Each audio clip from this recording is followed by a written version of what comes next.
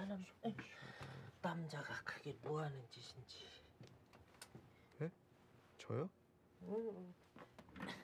백 선생 말고 내가 어저께부터 저 구관하고 신관하고 더블로 뛰잖아요.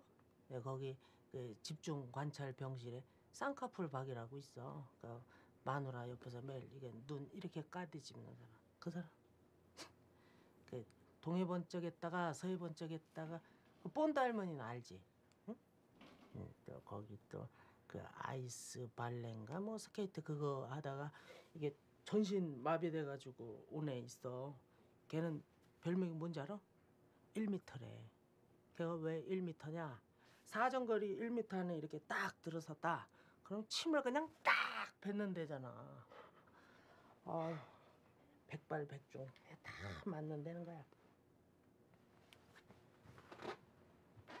그저께인가 싸가지가 자기가 총에 맞았다고 그거를 치료를 해달라고 그냥 소리를 그냥 으악 지르는데 아, 아니 정말 걔는 좀 무섭다. 공포 영화 집합소야 집합소.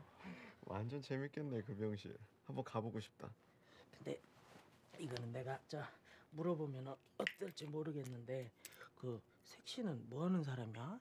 참 색시가 예뻐? 섹시가 좀 많이 섹시하죠? 지금 나 웃길라 그런 거야? 다녀왔습니다. 안녕하세요. 수고하셨어요, 아저씨. 좀 쉬다 오세요. 난 그러면 아, 공포 영화나 보러 가야겠다. 네 그러세요. 어떤 사람이 오늘은? 천국이야 지옥이야?